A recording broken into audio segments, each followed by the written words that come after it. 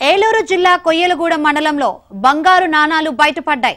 ఏడువాడల పాలెంలో ఓ రైతు పొలంలో pipe line కోసం తవ్వుతుండగా ఓ మట్టి పిడతలో బంగారు నాణాలు దొరికాయి.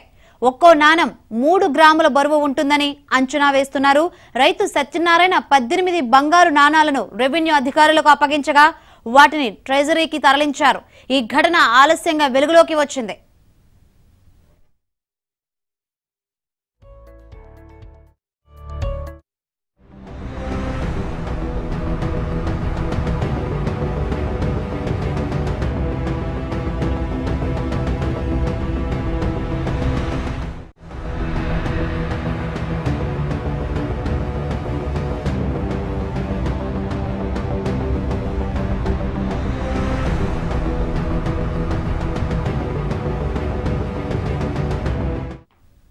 ఏలూరు జిల్లా కొయ్యలగూడెం మండలంలో బంగారు నాణాలు బయటపడ్డాయి.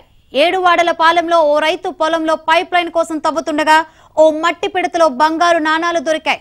ఒక్కో నాణం మూడు గ్రాముల బరువు ఉంటుందని అంచనా. రైతు సత్యనారాయణ పద్దెనిమిది బంగారు నాణాలను రెవెన్యూ అధికారులకు అప్పగించగా వాటిని ట్రెజరీకి తరలించారు. ఈ ఘటన ఆలస్యంగా వెలుగులోకి వచ్చింది. ఇదే అంశం గురించి మరింత సమాచారాన్ని మా ప్రతినిధి రాంబాబు నడి తెలుసుకుందాం. రాంబాబు అప్డేట్స్ ఏంటి? శంకరి మనం చూస్తున్నాము ఏడు వాడల పాలెంలో ఈ బంగారు నాణ్యాలు దొరికాయి.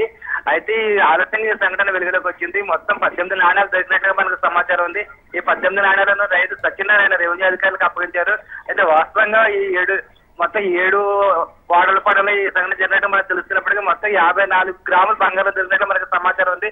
ప్రస్తుతం మార్కెట్ రేట్ ప్రకారం దీని విలువ రెండున్నర లక్షల రూపాయలు ఉంటుందని అంచనా. అయితే ఇవి పురాతన నాణ్యాలు కావడంతో బహిరంగ మార్కెట్ల కన్నా ఆప్షన్ వేస్తే ఆ ఆప్షన్లో ఇంకా కోట్ల రూపాయలు పెరిగే అవకాశం ఉందని చెప్పి భావిస్తున్నారు. రెవెన్యూ అధికారులు అయితే దీనిపై సంఘటన జరుపు దీనిపై విచారణ జరుపుతున్నారు. అదే ప్రధానంగా అసలు ఎన్ని ఎన్ని నాణ్యాలు దొరికాయో దానిపై మాత్రం ఇంకా క్లారిటీ లేదు. ప్రస్తుతం మనకు అందుతున్న సమాచారం అదేవిధంగా రెవెన్యూ వర్గాలు ఇస్తున్న సమాచారం ప్రకారం చూస్తే మొత్తం పద్దెనిమిది నాణ్యాలు జరుగుతున్నట్లు దొరికినట్లుగా మనకు తెలుస్తుంది.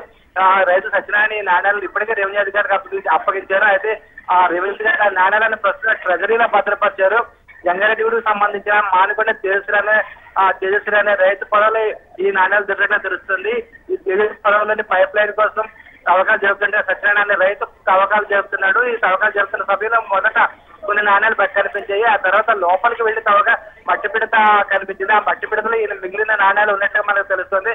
మొత్తం వీటన్నిటిని వెంటనే ఆ రెవెన్యూ సమాచారం అందించి వారికి అప్పగించారు సత్యనారాయణ రైతు.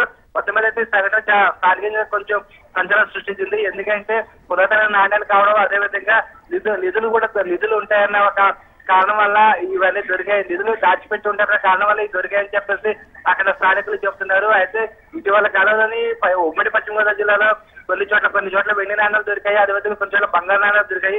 అలా ఈ విధంగా కొన్ని చోట్ల గుప్త నిధులు బయటపడుతున్నాయి. ఆ తరహాలోనే ఇప్పుడు ఏడు వాడల పాలనలోనే ఆ పొలంలో కూడా ఇటువంటి బంగారు నాణాలు బంగారు నాణాలు బయటపడ్డాయి. దాంతో అయితే ఈ విషయం చర్చనీయాంశంగా మారింది Shankari. Right thank you Rambabu